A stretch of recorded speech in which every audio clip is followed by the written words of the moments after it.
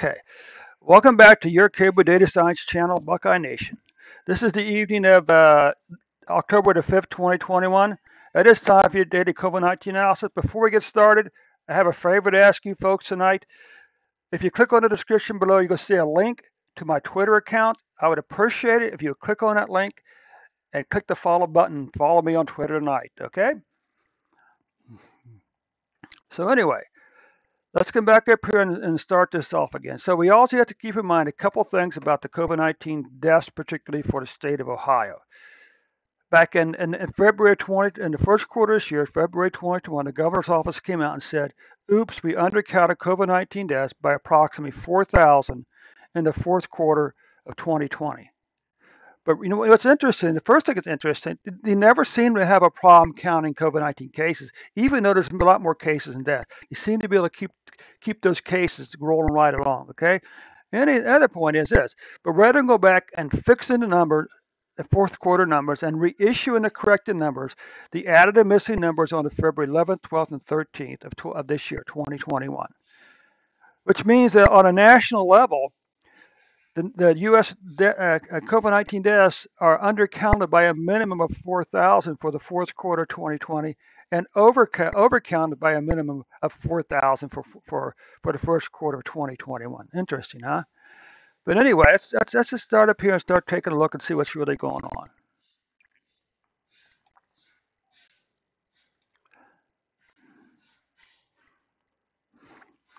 Okay. So so this is the raw data here. Okay, this, this is our raw data. Uh, you can see the spike for the three months. You can see what, what, the, what the data before and after looks like.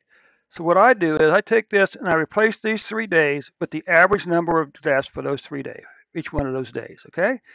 And this is a much better fit. It doesn't fix the fourth quarter problem, but it does fix the, uh,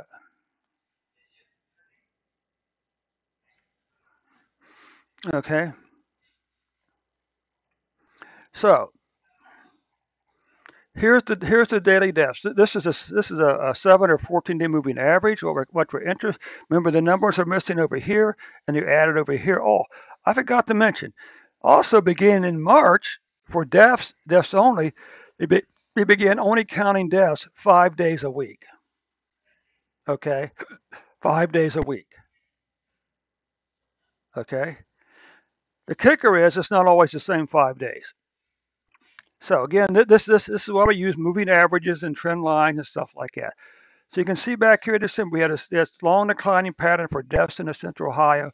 In mid-July, the deaths begin to climb. So the question for these cases and deaths is, how many of these people were vaccinated over here? A few summary statistics if you're into that type of stuff.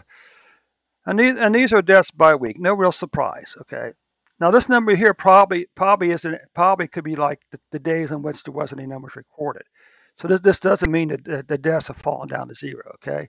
What about cases? Well, cases had again a long declining trend, and then in July, once again, cases began to increase.